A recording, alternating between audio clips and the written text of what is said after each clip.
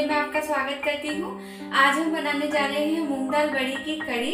तो आइए शुरुआत करते हैं। कड़ी बनाने के लिए हमने लिया है बेसन, एक छोटी कटोरी दही। ये मैंने लिए हैं दाल बड़ी, मूंग दाल बड़ी है ये। बाज़ार में आसानी से मिल जाती है। एक आलू, जिसे मैंने छील कर बारीक काट लिया है। अदरक, हरी मिर्ची, पेस्ट, धनिया और नींबू का रस। नमक लाल मिर्च पाउडर धनिया पाउडर और हल्दी पाउडर तो आइए शुरुआत करते हैं। कड़ी बनाने के लिए हम पहले कड़ी का घोल बना लेते हैं। इसके लिए मैंने लिया है बेसन। अब इसमें डालेंगे हम दही। इसमें डालेंगे हम हल्दी पाउडर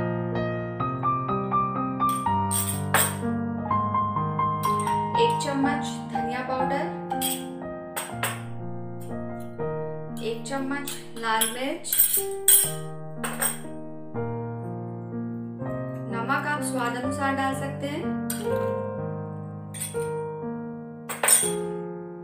अदरक, हरी मिर्ची पेस्ट अब हम इसे अच्छे से मिला लेंगे सारी चीज़ों को और एक अच्छा सा घोल तैयार करेंगे। थोड़ा थोड़ा अब हम इसमें थोड़ा थोड़ा पानी डालकर अच्छे से इसका घोल बनाएँगे। इसमें एक भी गुठलियाँ नहीं रहनी चाहिए। आप एक साथ सारा पानी ना डालें, नहीं तो गुठलियाँ रह जाएँगी।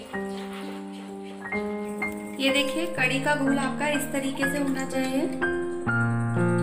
आइए, अब हम इसके नेक्स्ट स्टेप पे चलते हैं।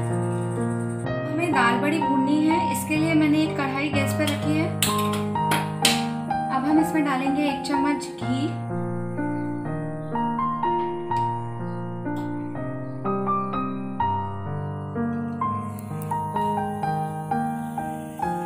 अब हम इसमें डालेंगे दाल देंगे और इन्हें चला लेंगे इन्हें धीमी आँच पर सेकना है। दाल बड़ी हमारी सिक चुकी है, अब हम इन्हें निकाल लेते हैं।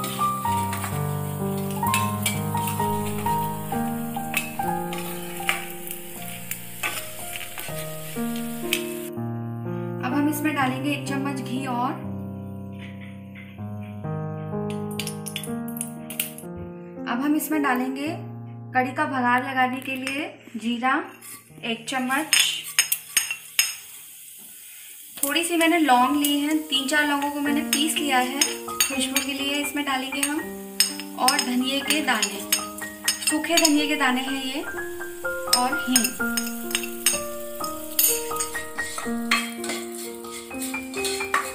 अब हम इसमें डालेंगे कड़ी का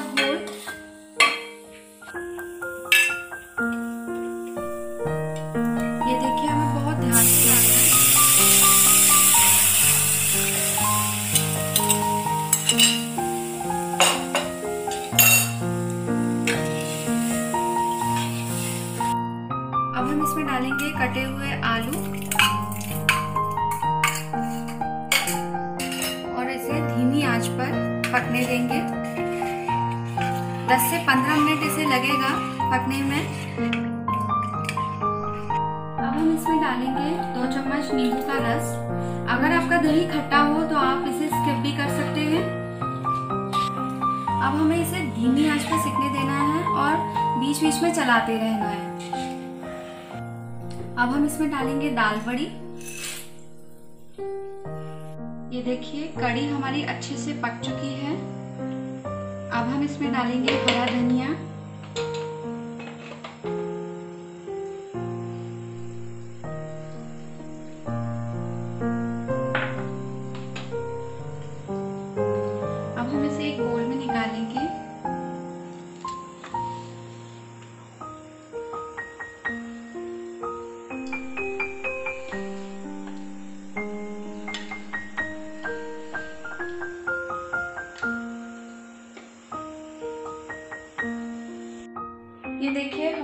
कड़ी बनकर तैयार है।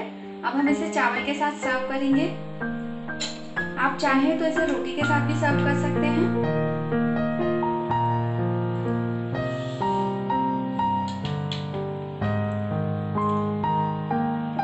ये देखिए, इसका कितना सुंदर कलर आया है। अब हम इस पर रखेंगे तुलसी का पत्ता, क्योंकि हमारे ठाकुर जी का भोग बिना तुलसी के नहीं लगता।